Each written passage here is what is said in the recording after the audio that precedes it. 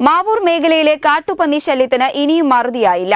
കഴിഞ്ഞ ദിവസം മനന്തലക്കടവ് മേഖലയിലും കാട്ടുപന്നികൾ വ്യാപകമായി കൃഷി നശിപ്പിച്ചു. കപ്പ കൃഷിയാണ് ഞായറാഴ്ച രാത്രി നശിപ്പിച്ചത്. മാവൂരിൽ കാട്ടുപന്നികളുടെ ആക്രമണത്തിൽ വീണ്ടും കൃഷി നശിച്ചു. മണന്തലക്കടവ് ഭാഗത്താണ് കഴിഞ്ഞ ദിവസങ്ങളിൽ കപ്പ കൃഷി നശിപ്പിച്ചത്. പതിനഞ്ചാം വാർഡിൽപ്പെട്ട പാലക്കോൾ പറമ്പിൽ ചെറുതൊടികയിൽ സലീം അര ഏക്കറോളം സ്ഥലത്ത് നട്ട കപ്പ കൃഷിയാണ് നശിപ്പിച്ചത്. ആമ്പേക്കാടൻ ഇനത്തിൽപ്പെട്ട അൻപതിലധികം മുരട് കപ്പ ഞായറാഴ്ച രാത്രി നശിപ്പിച്ചിട്ടുണ്ട്. അഞ്ചു മാസം മുൻപ് നട്ട് മാർച്ച് മാസത്തോടെ വിളവെടുക്കാൻ പറ്റുമായിരുന്ന കപ്പ കൃഷിയാണ് നശിപ്പിച്ചത്. കഴിഞ്ഞ ദിവസങ്ങളിൽ സമീപത്ത് വ്യാപകമായി വാഴയും കപ്പ കൃഷിയും നശിപ്പിച്ചിരുന്നു.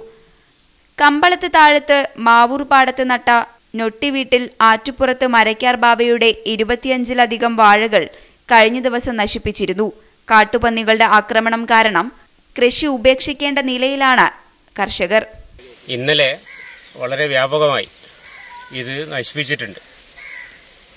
പകുതി പ്രായമായ മരച്ചീനിയാണ് ഇപ്പോൾ വലിയ തോതിലൂടെ പന്നികൾ വ്യാപകമായി കയറി ഇറങ്ങി നശിപ്പിച്ചത്. ഇത് വലിയ നഷ്ടമാണ് സലീമിനെ സംബന്ധിച്ചിടത്തോളം ഉണ്ടാക്കിയിട്ടുള്ളത്. കർഷകരെ കൃഷിഭൂമിയിൽ നിന്ന് തുരത്തുന്ന ഒരു ഏർപ്പാടാണിത്. വളരെ അടിയന്തരമായി ഈ കാര്യത്തിൽ ഒരു പരിഹാരം ഉണ്ടാവണം.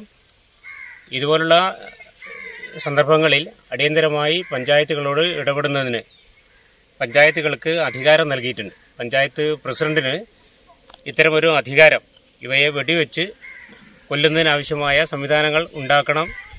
കൃഷി നശിപ്പിച്ച പ്രദേശങ്ങളിൽ കർഷക സംഘം മേഖലാ കമ്മിറ്റി ഭാരവാഹികൾ സന്ദർശനം നടത്തി. കാട്ടുപന്നി ശല്യം ഇല്ലാതാക്കുന്നതിന് അധികൃതർ നടപടിയെടുക്കണമെന്ന് ഭാരവാഹികൾ ആവശ്യപ്പെട്ടു. കർഷക സംഘം മാവൂർ മേഖലാ committee president Manoharan secretary Devadasan master joint secretary Mavoor Vijayan N A Marakkar Bava എന്നിവരാണ് സന്ദർശിച്ചത്. News bureau Mavoor.